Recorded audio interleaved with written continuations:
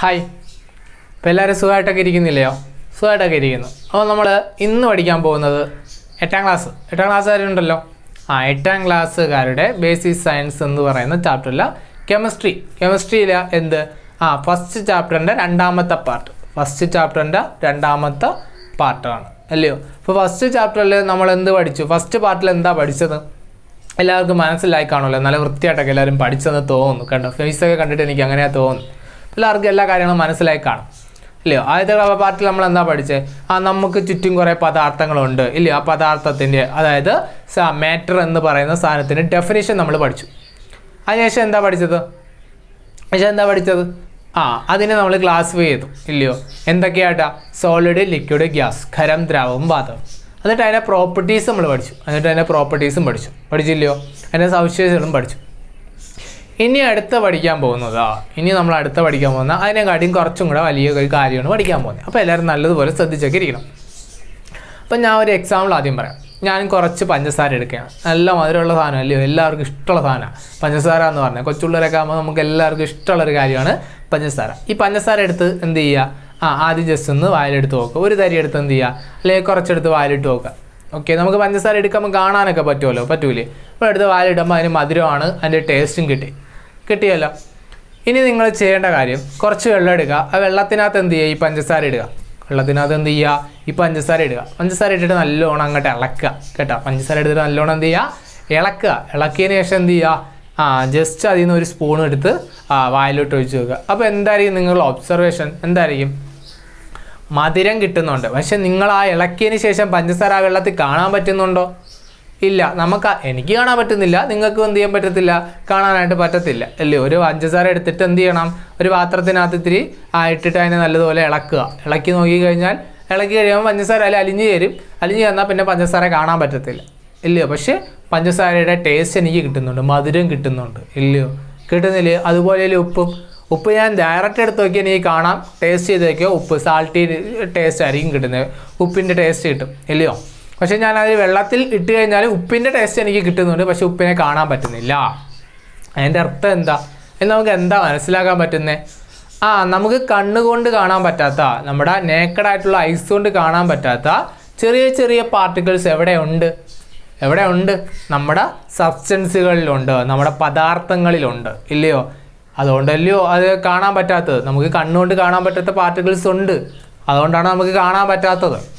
പക്ഷേ ആ പാർട്ടിക്കിൾസിന് ഒരു പ്രത്യേകതയുണ്ട് നമ്മൾക്ക് എന്ത് ആ ഏത് പദാർത്ഥമാണോ അതിന്റെ എല്ലാ പ്രോപ്പർട്ടീസും ആർക്ക് കാണും? ആ സബ്സ്റ്റൻസ് ആ ടൈനി ആയിട്ടുള്ള ചെറിയ ചെറിയ കണികൾക്ക് പാർട്ടിക്കിൾസിന് കാണും. നമുക്ക് കണ്ണുകൊണ്ട് കാണാൻ പറ്റാത്ത പാർട്ടിക്കിൾസിൽ കാണും എന്നാണ് നമ്മൾ എന്ത് ചെയ്യുന്നത്? ആദ്യം മനസ്സിലാക്കേണ്ട കാര്യം. ഇല്ലയോ? അപ്പോൾ ആദ്യം പറഞ്ഞ എന്താണ്? നമുക്ക് കണ്ണുകൊണ്ട് കാണാൻ പറ്റാത്ത നമ്മുടെ നേക്കഡ് ഐസ് കൊണ്ട് കാണാൻ പറ്റാത്ത ചെറിയ ചെറിയ പാർട്ടിക്കിൾസ് എവിടെയുണ്ട്? നമ്മുടെ ആറ്റത്തിനകത്തുണ്ട്. ആ ചെറിയ ചെറിയ പാർട്ടിക്കിൾസിനെ ആർക്ക് നമുക്ക് കാണാനും കഴിയത്തില്ല. പക്ഷെ അതിന്റെ ഒരു പ്രത്യേകതയുണ്ട്. ഏത് സബ്സ്റ്റൻസ് ആണോ എടുത്തിരിക്കുന്നത് അതിന്റെ എല്ലാ പ്രോപ്പർട്ടീസും ആര് കാണിക്കും? ആ സാധനം കാണിക്കും. ഇല്ലയോ? ആ ചെറിയ ചെറിയ പാർട്ടിക്കിൾസ് കാണിക്കും എന്നാണ് പഠിക്കേണ്ടത്. ആ അതാ ഒരു പദാർത്ഥത്തിന്റെ എല്ലാ സ്വഭാവങ്ങളും ചേർന്ന ചെറിയ ചെറിയ കണികകൾ ഒരു പദാർത്ഥത്തിനകത്തുണ്ട്. അല്ലെങ്കിൽ ചെറിയ ചെറിയ പദാ ഒരു പദാർത്ഥത്തിലുണ്ട് എന്ന് നമുക്ക് പറയാം. അതുകൊണ്ടാണ് പഞ്ചസാര എടുത്ത് വെള്ളത്തിലിട്ടാൽ നമുക്ക് കാണാൻ പറ്റത്തില്ല. പക്ഷെ പഞ്ചസാരയുടെ രുചി കിട്ടുന്നു. ഉപ്പ് എടുത്ത് വെള്ളത്തിലിട്ടു. അത് അലിഞ്ഞു ചേർന്ന് ഉപ്പ് കാണാൻ പറ്റുന്നില്ല. പക്ഷെ ഉപ്പിന്റെ രുചി നമുക്ക് അറിയാൻ പറ്റുന്നുണ്ട്. ഇല്ലയോ? അപ്പോൾ ആ ചെറിയ ചെറിയ കണികൾ ഉള്ളത് കൊണ്ടല്ലയോ? ആണ്. അപ്പം നമുക്ക് നോക്കിയാൽ മനസ്സിലാകും.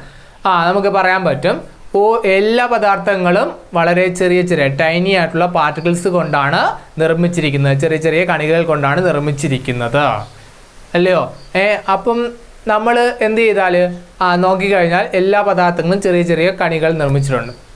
ഈ കണികകളുടെ അറേഞ്ച്മെന്റ് എന്താണ്? ഡിഫറെന്റ് ആണ്. ഓരോ പദാർത്ഥത്തിൽ അതായത് നമുക്ക് മൂന്നെണ്ണം ഉണ്ടല്ലോ. സോളിഡ് ലിക്വിഡ് ഗ്യാസ് ഈ മൂന്നെണ്ണത്തിലും നമ്മുടെ പാർട്ടിക്കിൾസിന്റെ അറേഞ്ച്മെന്റ് ചെറിയ ചെറിയ പാർട്ടിക്കിൾസിന്റെ അറേഞ്ച്മെന്റ് എന്ന് പറയുന്നത് എന്താണ്? ഡിഫറെന്റ് ആണ്. ഇവരുടെ അറേഞ്ച്മെന്റ് എന്താണ്? ഡിഫറെന്റ് ആണ്. അതുകൊണ്ടാണ് ഇവരെന്ത് കാണിക്കുന്നത് ഡിഫറെന്റ് ആയിട്ടുള്ള പ്രോപ്പർട്ടീസ് കാണിക്കുന്നത് അതുകൊണ്ടാണ് ഇവരെന്ത് കാണിക്കുന്നത് ഡിഫറെന്റ് ആയിട്ടുള്ള പ്രോപ്പർട്ടീസ് കാണിക്കുന്നത് അവിടെ ടെസ്റ്റിൽ ഒരു പടം കണ്ടോ? ഏ പടം കണ്ടോ? എന്താ കണ്ടേ? ഒരു കുപ്പിക്കകത്ത് നിന്ന് ഇടുന്ന പടമൊക്കെ നിങ്ങൾ കണ്ടല്ലോ? കണ്ട് കാണും. അപ്പോൾ അതിനകത്ത് അറേഞ്ച്മെന്റ് നോക്കിയേ പാർട്ടിക്കിൾസിന് അറേഞ്ച്മെന്റ് നോക്കിയേ. ഇങ്ങനെ ചേർത്ത് ചേർത്താണ് ഒന്നാമത്തിൽ വെച്ചേക്കുന്നത്. മറ്റേലാണെങ്കിലോ ഇച്ചിരി ഡിസ്റ്റൻസ് ആയിട്ട് ഡിസ്റ്റൻസ് ആയിട്ടാണ്. മൂന്നാമത്തേലാണെങ്കിലോ നല്ല നല്ല ഡിസ്റ്റൻസ് ആയിട്ടാണ് കാണുന്നത് ഇല്ലയോ? അതിൽ നമുക്ക് മനസ്സിലാക്കാം. ഇതിൽ ഓരോന്ന് ഏതാണെന്ന്? നല്ലതുപോലെ ഷേപ്പായിട്ടിരിക്കുന്നത് ഏതാ? ഒന്നാമത്തതല്ലയോ? അതപ്പോൾ ഏതായിരിക്കും ഷേപ്പ് ഉള്ളത് നല്ല ഷേപ്പ് ആകൃതിയൊക്കെ ഉള്ളത് ആർക്കാണ്? സോളിഡ്സ് ആണ്. അത് ഈ ഖരവസ്തുക്കൾക്കാണ്. അപ്പം കണികൾ നല്ലോണം ചേർത്ത് അടുക്കി ഇങ്ങനെ വച്ചേക്കുന്നത് ആരായിരിക്കും? സോളിഡ് ആയിരിക്കും. അതായത് ഖരപദാർത്ഥങ്ങളായിരിക്കും. ഇല്ലയോ? രണ്ടാമത് ഇത്തിരി ഗ്യാപ്പ് കുറച്ച് കുറച്ച് ഗ്യാപ്പൊക്കെ കിടക്കുന്നുണ്ട്. ഇല്ലയോ? ഒഴുകുന്ന കണക്കൊക്കെയാണ് നമ്മളിതിൽ പടത്തിൽ കാണിച്ചിരിക്കുന്നത് അപ്പോൾ അതിൽ നിന്ന് നമുക്ക് മനസ്സിലാക്കാം അത് ഏതായിരിക്കും? ലിക്വിഡ്സ് ആയിരിക്കും. അതേതായിരിക്കും ലിക്വിഡ്സ് ആയിരിക്കും. അതായത് ദ്രാവകമായിരിക്കും. അതേതായിരിക്കും ദ്രാവകമായിരിക്കും. ഇനി മൂന്നാമത്തെ നോക്കിയാൽ ജസ്റ്റ് നല്ലതുപോലെ ഡിസ്റ്റൻസ് ഇട്ട് നല്ലതുപോലെ പാറിപ്പറന്ന് നടക്കുന്നതൊക്കെ കാണിച്ചേക്കുന്നത് അപ്പോൾ അത് ഏതായിരിക്കും? ഗ്യാസ് ആയിരിക്കും. അതേതായിരിക്കും ഗ്യാസ് ആയിരിക്കും. അതേതായിരിക്കും ഗ്യാസ് ആയിരിക്കും. അപ്പോൾ ഇതിന്റെയൊക്കെ അടിസ്ഥാനത്തിൽ നമുക്ക് മോളിക്യൂൾസിന്റെ അറേഞ്ച്മെന്റ് നോക്കാം. ഓരോത്തിലും എങ്ങനെയൊക്കെയാണ് അറേഞ്ച്മെന്റ് എന്ന് നോക്കാം. ഒന്നാമത് നോക്കാം. സോളിഡ് ആണെങ്കിൽ മോളിക്യൂൾസ് അതായത് കണികകൾ അണി അറേഞ്ച് ചെയ്തേക്കുന്നത് എങ്ങനെയാണ്? ആ നല്ലതുപോലെ അടുക്കി അടുക്കി അടിക്കുകയാണ് വെച്ചേക്കുന്നത് അല്ലയോ? ഏ അപ്പോൾ നമുക്ക് പറയാം. Distance from the molecule is very less very less ആണ്. മോളിക്യൂൾസ് തമ്മിലുള്ള ഡിസ്റ്റൻസ് വളരെ കുറവാണ്. ആണല്ലോ? അപ്പോൾ വളരെ കുറവാണ് എന്ന് പറയുമ്പോൾ അവർ തമ്മിലുള്ള അട്രാക്ഷൻ എന്തായിരിക്കും? ചേർന്നിരിക്കുന്നവരൊക്കെ തമ്മിലല്ലോ അട്രാക്ഷൻ ഉണ്ടായിരിക്കുന്നത് അല്ലെങ്കിൽ അട്രാക്ഷൻ കാണോ? ഏ ഇച്ചിരി അകന്നിരുന്ന് കഴിഞ്ഞാൽ അട്രാക്ഷൻ കാണോ. അതായത് നമ്മൾ ഫ്രണ്ട്സ് ആണ്. ഫ്രണ്ട്സ് ആണെങ്കിൽ നമ്മൾ നല്ല തിക്ക് ഫ്രണ്ട്സ് ആണെങ്കിൽ നമ്മൾ ചേർന്നേ ഇരിക്കുള്ളൂ. അല്ലെങ്കിൽ ഫ്രണ്ട്സ് ഒന്നും അല്ലെങ്കിൽ എന്ത് ചെയ്യും? വളരെ ഫ്രണ്ട്ഷിപ്പ് ഒന്നും ഇല്ലെങ്കിൽ എന്ത് ചെയ്യും? ഇച്ചിരി അകന്നായിരിക്കും നമ്മൾ ഇരിക്കുന്നത് അല്ലേ? ഇച്ചിരി അകന്നായിരിക്കും ഇരിക്കുന്നത് അപ്പോൾ തിക്കാണെങ്കിൽ നല്ല തിക്ക് ഫ്രണ്ട്ഷിപ്പ് ആണെങ്കിൽ നമ്മൾ ചേർന്നിരിക്കും. അതുപോലെയാണ് അട്രാക്ഷൻ കൂടിക്കഴിഞ്ഞാൽ അത് ചേർന്നിരിക്കും. ഇപ്പം നല്ലോണം ചേർന്നിരിക്കുന്നെങ്കിൽ അതിലുള്ള പാർട്ടിക്കിൾസിന് തമ്മിലുള്ള അട്രാക്ഷൻ എന്താണ്? വെരി ഹൈ ആണ്. അതായത് കണികൾ തമ്മിലുള്ള ആകർഷണ ബലം കൂടുതലാണ്. കണികൾ തമ്മിലുള്ള ആകർഷണ ബലം എന്താണ്? കൂടുതലാണ്. ഇനി ഈ പാർട്ടിക്കിൾസിന് ഫ്രീ ആയിട്ട് മൂവ് ചെയ്യാൻ പറ്റുമോ? ഇല്ല. ചേർന്നല്ലേ ഇരിക്കുന്നത് ചേർന്നിരിക്കുമ്പോൾ അവർക്ക് ഫ്രീ ആയിട്ട് മൂവ് ചെയ്യാൻ പറ്റുമോ? ഇല്ല. അപ്പോൾ ഫ്രീഡം ഓഫ് മൂവ്മെന്റ് എന്താണ്? ലെസ് ആണ്. ഫ്രീഡം ഓഫ് മൂവ്മെന്റ് ലെസ് ആണ്. പാർട്ടിക്കിൾസിന്റെ ഫ്രീഡം ഓഫ് മൂവ്മെന്റ്സ് എന്താണ്? ലെസ് ആണ്. അതായത് സ്വതന്ത്രമായി കണികൾക്ക് സ്വതന്ത്രമായി ചലിക്കാനുള്ള സ്വാതന്ത്ര്യം കുറവാണ്. കണികൾക്ക് സ്വാ- സ്വതന്ത്രമായി ചലിക്കാനുള്ള സ്വാതന്ത്ര്യം എന്താണ്? കുറവാണ്. എന്ന് നമുക്ക് പറയാം.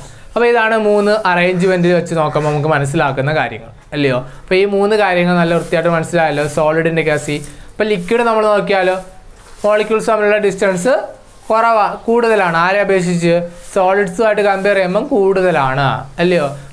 അപ്പോൾ ഡിസ്റ്റൻസ് ഉണ്ട്. The distance between the molecules are high എന്ന് വേണമെങ്കിൽ പറയാം. Distance between the molecules high എന്ന് പറയാം. അല്ലെങ്കിൽ compare to solid very high അതായത് ഡിസ്റ്റൻസ് കൂടുമ്പോൾ എന്ത് കുറയും? അട്രാക്ഷൻ കുറയും. അപ്പം attraction between the molecules are very less compared to solids solids ആയിട്ട് കമ്പയർ ചെയ്യുമ്പോൾ അട്രാക്ഷൻ എന്താണ്?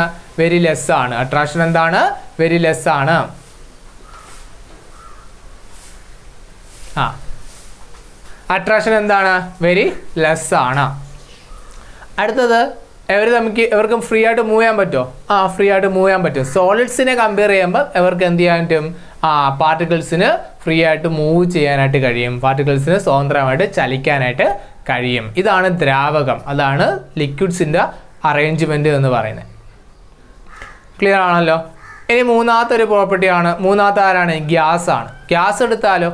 മോളിക്യൂൾസ് തമ്മിലുള്ള ഡിസ്റ്റൻസ് വെരി ഹൈ ആണ്. The distance between the molecules very high അല്ലയോ? മോളിക്യൂൾസ് അതായത് കണികൾ തമ്മിലുള്ള അകലം വളരെ കൂടുതലാണ്. അടുത്തത് വളരെ കൂടുതലാകുമ്പം ആകർഷണബലം എന്തായിരിക്കും? വളരെ കുറവായിരിക്കും അല്ലയോ? അപ്പം attraction between the molecules very less attraction between the molecules very less മോളി കണികൾ തമ്മിലുള്ള ആകർഷണബലം വളരെ കുറവാണ്. മൂന്നാമത്തെ എന്തായിരിക്കും? ആ അവർക്ക് ഫ്രീ ആയിട്ട് മൂവ് ചെയ്യാൻ എന്താണ്? പറ്റൂലയോ? ഗ്യാസ് ആകുമ്പോൾ നല്ല ഫ്രീ ആയിട്ടാണ് മൂവ് ചെയ്യുന്നത് അപ്പം ഫ്രീ ആയിട്ടുള്ള മൂവ് ചെയ്യാനുള്ള കഴിവ് എന്താണ്? ഫ്രീഡം ഓഫ് മൂവ്മെന്റ് എന്ന് പറയുന്നത് എന്തായിരിക്കും? ഹൈ ആയിരിക്കും. Freedom of movement very high സ്വതന്ത്രമായി ചലി സഞ്ചരിക്കാനുള്ള സ്വാതന്ത്ര്യം വളരെ കൂടുതലാണ്. കണികൾക്ക് സ്വതന്ത്രമായി സഞ്ചരിക്കുക സഞ്ചരിക്കാനുള്ള സ്വാതന്ത്ര്യം എന്താണ്? വളരെ കൂടുതലാണ്. ഇനി നമ്മൾ ഇതിൽ മൂന്ന് പേരിലും ഒരു കാര്യം കൂടെ നമ്മൾ പറയും. എനർജിയുടെ കേസും കൂടെ പറയും. അല്ലയോ? എനർജിയുടെ കേസിലും കൂടെ പറയും. ആദ്യത്തെ സോളിഡ്സ് ആണെങ്കിൽ എനർജി കുറവായിരിക്കും. അല്ലയോ? മോളിക്യൂൾസിന് എനർജി കുറവായിരിക്കും. അതുകൊണ്ടാണ് അവർക്ക് എങ്ങും മൂവ് ചെയ്യാൻ പറ്റാത്തത്. അല്ലയോ? ഒരു സാധനത്തിന് എനർജി കൂടുതലാണെങ്കിൽ എങ്ങോട്ടാണെങ്കിലും മൂവ് ചെയ്തുകൂടെയായിരുന്നോ? അല്ലയോടെ ആണ്. അപ്പം ഇവർക്ക് എനർജി എന്താണ്? കുറവാണ്. എന്നാൽ ഇവരെ കമ്പയർ ചെയ്ത് ലിക്വിഡ്സ് ആകുമ്പോഴോ എനർജി കൂടുതലാണ്. എവരെയും കാട്ടിയും കൂടുതൽ ആർക്കായിരിക്കും? ഗ്യാസിനായിരിക്കും. ഗ്യാസസിന് എനർജി വളരെ കൂടുതലായിരിക്കും. എനർജി വളരെ കൂടുതലായിരിക്കും. ക്ലിയർ ആണോ ഇത്രയും കാര്യങ്ങൾ മനസ്സിലായോ? ആ അപ്പോൾ ഇത്രയും കാര്യങ്ങൾ എല്ലാവർക്കും മനസ്സിലായി കാണും. ഇനി നമുക്ക് അടുത്ത പോർഷനിലോട്ട് അടുത്ത എന്താണ്? അടുത്ത നിങ്ങളെ ടെസ്റ്റിൽ പറഞ്ഞിരിക്കുന്നത് എന്താ? അവസ്ഥാ പരിവർത്തനം അല്ലെങ്കിൽ ചേഞ്ച് ഓഫ് സ്റ്റേറ്റ് എന്ന് പറയുന്ന പോർഷൻ അല്ലയോ? അവസ്ഥാ പരിവർത്തനം അല്ലെങ്കിൽ ചേഞ്ച് ഓഫ് സ്റ്റേറ്റ് എന്ന് വെച്ചാൽ എന്താ? ഒരു സ്റ്റേറ്റിൽ നിന്ന് വേറൊരു സ്റ്റേറ്റിലേക്ക് ചേഞ്ച് ചെയ്യുക അല്ലെങ്കിൽ ഒരു അവസ്ഥയിൽ നിന്ന് വേറൊരു അവസ്ഥയിലോട്ട് മാറുക. എന്ന് വെച്ചാൽ സോളിഡ് ലിക്വിഡ് ഗ്യാസ് ഇതാണ് സ്റ്റേറ്റുകൾ എന്ന് പറയുന്നത്. അപ്പോൾ ഒരു പദാർത്ഥം സോളിഡ് ആയിരുന്ന പദാർത്ഥം എന്തിലോട്ട് മാറും? ആ ലിക്വിഡ്സിലോട്ടായി മാറും. ലിക്വിഡിൽ നിന്ന് എവിടോട്ട് മാറും? ഗ്യാസ് ആയിട്ട് മാറും. അങ്ങനെ ചേഞ്ച് ചെയ്യുന്നതിനാണ് ചേഞ്ച് ഓഫ് സ്റ്റേറ്റ് അല്ലെങ്കിൽ അവസ്ഥാ പരിവർത്തനം എന്ന് പറയുന്നത്. അപ്പോൾ നമുക്ക് എക്സാമ്പിൾ നോക്കാം. എക്സാമ്പിളായിട്ട് തന്നെ വെച്ച് നോക്കാം. അതായത് ഞാനൊരു ലീ ഐസ് അടയ്ക്കുകയാണ് ഐസ്. നമ്മളെ ഫ്രിഡ്ജിനകത്തൊക്കെ ഇരിക്കുന്നുണ്ടല്ലോ നമ്മൾ എടുക്കുന്ന ആ ആ ഐസ് അടിക്കുകയാണ്. ഐസ് എന്താണ്? സോളിഡ് ആണ്. ഒരു കരപദാർത്ഥമാണ്. ഞാൻ അതിനെ ഹീറ്റ് ചെയ്യുകയാണ്. ഹീറ്റ് ചെയ്യുമ്പോൾ അത് എന്തായിട്ട് മാറും ഐസിനെ ഞാൻ ഹീറ്റ് ചെയ്താൽ എന്താവും? അത് വെള്ളമായിട്ട് വാട്ടറായിട്ട് മാറും. വാട്ടർ വാട്ടർ ഇല്ലയോ? വാട്ടർ എന്ന് പറയുന്നത് എന്താണ്? ലിക്വിഡ് ആണ്. അതായത് ദ്രാവകമാണ്. വാട്ടർ എന്ന് പറയുന്നാൽ ലിക്വിഡ് അല്ലെങ്കിൽ ദ്രാവകമാണ് എന്ന് പറയാം. ഇല്ലയോ? അത് കഴിഞ്ഞിട്ട് ആ ലിക്വിഡിനെ എടുത്ത് ഞാൻ ഹീറ്റ് ചെയ്തു. പിന്നെയും ഹീറ്റ് ചെയ്തു. അപ്പോൾ അതെന്തായിട്ട് മാറും? ഗ്യാസ് ആയിട്ട് മാറും. അതായത് വേപ്പറായിട്ട് മാറും. അതെന്തായിട്ട് മാറും? വേപ്പറായിട്ട് മാറും. അതായത് നീരാവിയായി മാറുന്നു. അപ്പോൾ അതെന്താണ്? ഗ്യാസ് ആണ് അപ്പോൾ നിങ്ങൾ ആ ടെസ്റ്റിൽ തന്നിരിക്കുന്ന പടം നോക്കാം. അത് നോക്കിക്കോ. ഇവിടെ സോളിഡ് ആയിരുന്നു. സോളിഡിനെ ഹീറ്റ് ചെയ്യുമ്പം അതായത് ഐസ് ആയിരുന്നു. ഐസിനെ ഹീറ്റ് ചെയ്യുമ്പോൾ എന്തായി മാറി? ആ നമ്മുടെ ഏതായിട്ട് മാറും ഇവിടെ? വാട്ടറായിട്ട് മാറും. ഇല്ലയോ? വാട്ടറിനെ ഹീറ്റ് ചെയ്യുമ്പം വേപ്പറായിട്ട് വാട്ടർ വേപ്പറായിട്ട് മാറും. അതായത് ഐസ് ജലമായിട്ട് മാറും. ജലത്തിനെ ചൂടാക്കുമ്പോൾ എന്തായിട്ട് മാറും? നീരാവിയായി മാറും. ഐസ് എന്ന് പറഞ്ഞാൽ എന്താ? സോളിഡ് ആണ് ഖരമാണ്. വാട്ടർ എന്ന് വെച്ചാൽ ലിക്വിഡാണ് അല്ലയോ? ദ്രാവകമാണ്. വാട്ടർ വേപ്പർ എന്ന് വെച്ചാൽ ഗ്യാസ് ആണ് അല്ലെങ്കിൽ വാതകമാണ് എന്ന് പറയാം. അപ്പോൾ സോളിഡിനെ ചൂടാക്കിയപ്പോൾ എനിക്ക് എന്ത് കിട്ടി? ലിക്വിഡ് കിട്ടി. ലിക്വിഡിനെ ചൂടാക്കിയപ്പോൾ ഹീറ്റ് ചെയ്തപ്പം ഗ്യാസ് കിട്ടി. അപ്പം ചേഞ്ച് ആയല്ലോ. സ്റ്റേറ്റിൽ ചേഞ്ച് ആയല്ലോ. മൂന്ന് സ്റ്റേറ്റും ചേഞ്ച് ആയി. അതുപോലെ എനിക്ക് എന്ത് ചെയ്യാം? നീരാവിയെ ഞാൻ എന്ത് ചെയ്യാം? തണുപ്പിക്കുകയാണ്. അതായത് കൂൾ ചെയ്യുകയാണ് കൂൾ ചെയ്യുമ്പോൾ അത് എന്തായിട്ട് മാറും? വാട്ടറായിട്ട് മാറും. അല്ലയോ? അതായത് നമ്മളിവിടെ നിന്ന് വാട്ടർ മുകളിലോട്ട് പോകുമ്പോഴത്തേക്ക് ആകാശത്ത് നിന്ന് അത് തണുത്തുറഞ്ഞാണ് മഴയായിട്ട് പെയ്യുന്നത്. അല്ലേ? മഴയായിട്ട് വരുന്ന വെള്ളം അല്ലേ ആണല്ലോ. അപ്പോൾ നമ്മൾ വാട്ടർ വേപ്പേഴ്സിനെ കൂൾ ചെയ്ത് കഴിഞ്ഞാൽ നമുക്ക് എന്ത് കിട്ടും? വാട്ടർ കിട്ടും. വാട്ടർ ഇല്ലയോ? ആണല്ലോ. അപ്പം ഗ്യാസിനെ കൂൾ ചെയ്താൽ എനിക്ക് എന്തായി ലിക്വിഡായിട്ട് മാറി. ആ ലിക്വിഡ് വാട്ടറിനെ ഞാൻ ഫ്രീസറിൽ കൊണ്ട് വെച്ചിട്ട് പിന്നും കൂൾ ചെയ്താൽ എന്തായിട്ട് മാറും? എനിക്ക് തിരിച്ച് ഐസായിട്ട് കിട്ടും. തിരിച്ച് എന്തായിട്ട് കിട്ടും? ഐസായിട്ട് കിട്ടും. കിട്ടത്തില്ലയോ? അപ്പം ഞാൻ കൂൾ ചെയ്യുമ്പോഴത്തേക്ക് എന്ത് മാറി? കൂളാകുമ്പം കൂൾ ചെയ്യുമ്പം വാട്ടറായിട്ട് മാറും വാട്ടർ എന്തായി? ഐസായിട്ട് മാറും. ജലം എന്തായി? ഐസായിട്ട് മാറി. ഇല്ലയോ? എന്ന് വെച്ചാൽ ഗ്യാസ് ലിക്വിഡായി ലിക്വിഡ് എന്തായിട്ട് മാറും? സോളിഡായിട്ട് മാറും. അപ്പം ചേഞ്ച് ചെയ്തില്ലേ? സ്റ്റേറ്റ് ചേഞ്ച് ചെയ്തില്ലയോ? ഇതിനെയാണ് അവസ്ഥാ പരിവർത്തനം അല്ലെങ്കിൽ ചേഞ്ച് ഓഫ് സ്റ്റേറ്റ് എന്ന് പറയുന്നത്. അവസ്ഥാ പരിവർത്തനം അല്ലെങ്കിൽ ചേഞ്ച് ഓഫ് സ്റ്റേറ്റ് എന്ന് പറയുന്നത്. അപ്പം നമ്മൾ നോക്കിയേ ഹീറ്റ് ചെയ്യുമ്പം അതിനകത്തുള്ള മോളിക്യൂൾസിന് ചേഞ്ച് വരുന്നുണ്ട് ഇല്ലയോ? അതായത് സോളിഡ് ലിക്വിഡ് ആകുക എന്ന് വെച്ചാൽ ആ മോളിക്യൂൾസിന്റെ അറേഞ്ച്മെന്റ് മാറിയില്ലയോ അതുപോലെ അവിടെ നിന്ന് ഇങ്ങോട്ട് മാറിയപ്പോഴും അതിന്റെ അറേഞ്ച്മെന്റ് മാറത്തില്ല ഇവിടെ? മാറും. അതായത് സോളിഡ് ലിക്വിഡായി എന്ന് വെച്ചാൽ അറേഞ്ച്മെന്റ് മാറി. അതിനകത്തുള്ള പാർട്ടിക്കിൾസിന്റെ അറേഞ്ച്മെന്റ് മാറി. അതുപോലെ ആ സോളിഡ് എന്തായി ലിക്വിഡ് എന്തായി? ഗ്യാസ് ആയിട്ട് മാറി. എന്ന് വെച്ചാൽ അതിനകത്തും അറേഞ്ച്മെന്റിൽ എന്തുണ്ടായി? വ്യത്യാസമുണ്ടായി. അല്ലയോ? അറേഞ്ച്മെന്റ് വ്യത്യാസം. അതായത് ഒരു സാധനത്തിനെ ഹീറ്റ് ചെയ്യുമ്പം മോളിക്യൂൾസിന്റെ അറേഞ്ച്മെന്റിൽ എന്തെല്ലാം വ്യത്യാസം ഉണ്ടാവും എന്ന് നമുക്ക് നോക്കാം. സോളിഡ് ആയിരുന്നല്ലോ. സോളിഡിനെ ഹീറ്റ് ആക്കിയപ്പോൾ എനിക്ക് ലിക്വിഡ് ആയില്ലേടെ? ആയില്ലയോ? അപ്പം ഞാൻ ഒരു പദാർത്ഥത്തിനെ ഹീറ്റ് ചെയ്താൽ ചൂടാക്കിയാൽ ആ അതിനകത്തുള്ള പാർട്ടിക്കിൾസിന്റെ അതിനകത്തുള്ള കണികകളുടെ എന്ത് കൂടും? ഡിസ്റ്റൻസ് ഇൻക്രീസ് ചെയ്യും. The distance between the molecule എന്ന് പറയുന്നത് എന്ത് ചെയ്യും? ഇൻക്രീസ് ചെയ്യും. Distance between the molecules increase ചെയ്യും. തൻ കണികൾ തമ്മിലുള്ള അകലം എന്ത് ചെയ്യും കൂടും എന്ന് നമുക്ക് പഠിക്കാം. എന്ത് ചെയ്യും? കൂടും. രണ്ടാമത് എന്താ? Attraction dis attraction between the molecules കണികൾ തമ്മിലുള്ള ആകർഷണബലം. അതും എന്ത് ചെയ്യും? അതെന്ത് ചെയ്യും? കുറയും. അല്ലയോ സോളിൽ നിന്ന് ലിക്വിഡ് ആകുമ്പം അട്രാക്ഷൻ എന്തായി? കുറഞ്ഞു. ഡിസ്റ്റൻസ് കൂടിയാൽ അട്രാക്ഷൻ എന്ത് ചെയ്യും? ഡിക്രീസ് ചെയ്യും. ഇല്ലയോ അപ്പം attraction between the molecules decreases attraction between the molecules decreases അല്ലയോ? അതുപോലെ നമ്മൾ ഫ്രീഡം ഓഫ് മൂവ്മെന്റ് എന്ത് ചെയ്യും? ഫ്രീഡം ഓഫ് മൂവ്മെന്റ് സ്വതന്ത്രമായി ചലിക്കാനുള്ള സ്വാതന്ത്ര്യം എന്ത് ചെയ്യും? കൂടും. ഇൻക്രീസ് ചെയ്യും. അല്ലയോ? അതായത് സോളിഡ് ആകുമ്പോൾ ചലിക്കാൻ സ്വാതന്ത്ര്യം ഇല്ല. കുറവാണ്. ഇവിടെ ആകുമ്പോൾ അതിനെക്കാട്ടിയും കൂടുതലാണ് ഇവിടെ ആകുമ്പോൾ പിന്നെയും കൂടും. അപ്പോൾ നമുക്ക് എന്ത് ചെയ്യാം? ഹീറ്റ് ചെയ്യുമ്പം ചലിക്കാനുള്ള സ്വാതന്ത്ര്യം എന്ത് ചെയ്യും? ഇൻക്രീസ് ചെയ്യും. ഫ്രീഡം ഓഫ് മൂവ്മെന്റ്സ് ഇൻക്രീസ് ചെയ്യും. സ്വതന്ത്രമായി ചലിക്കാനുള്ള സ്വാതന്ത്ര്യം എന്ത് ചെയ്യും? കൂടും കൂടും. ഓക്കെ ആണോ?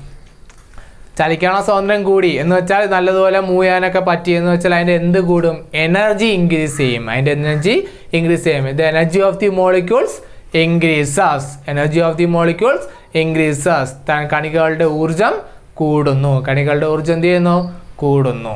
ഓക്കെ അപ്പോൾ ഒരു പദാർത്ഥം ഹീറ്റ് അബ്സോർബ് ചെയ്താൽ അതായത് ചൂട് ചൂട് ആകിരണം ചെയ്താൽ അവയ്ക്കുണ്ടാകുന്ന മാറ്റങ്ങൾ എന്തൊക്കെയാണെന്ന് ചോദിച്ചാൽ എന്തൊക്കെയാണ്? Distance between the molecules increases attraction between the molecules decreases freedom of movements increases അതുപോലെ എന്തും കൂടും? നമ്മുടെ എനർജി ഓഫ് ദി മോളിക്യൂൾസും ഇൻക്രീസ് ചെയ്യും. എനർജി ഓഫ് ദി മോളിക്യൂളും ഇൻക്രീസ് ചെയ്യും. ആണല്ലോ? ഇനി അടുത്തത് എന്താ? ഇനി അടുത്തത് എന്താ? മലയാളത്തിൽ നോക്കുകയാണെങ്കിൽ എന്താ പറയുന്നത് ആ കണികൾ തമ്മിലുള്ള അകലം കൂടുന്നു. കണികൾ തമ്മിലുള്ള ആകർഷണ ബലം കുറയുന്നു. സ്വതന്ത്രമായി ചലിക്കാനുള്ള സ്വാതന്ത്ര്യം എന്ത് ചെയ്യുന്നു? ആ കൂടുന്നു. അതുപോലെ ഊർജം എന്ത് ചെയ്യുന്നു? കൂടുന്നു. ഊർജം എന്ത് ചെയ്യുന്നു? കൂടുന്നു. അല്ലയോ? ഇത് ചൂട് ആകിരണം ചെയ്യുമ്പോൾ അതായത് തണുപ്പ് അല്ല എന്ത് ചെയ്യുന്ന? ഹീറ്റ് അബ്സോർബ് ചെയ്യുമ്പോൾ ഉണ്ടാകുന്ന കാര്യങ്ങളാണ്. അപ്പോൾ ഇത്രയും കാര്യങ്ങൾ എല്ലാവർക്കും മനസ്സിലായി കാണുമല്ലോ. ഇത്രയും കാര്യങ്ങൾ എന്ത് ചെയ്യുക? നിങ്ങൾ നല്ല വൃത്തിയായിട്ട് പഠിക്കുക.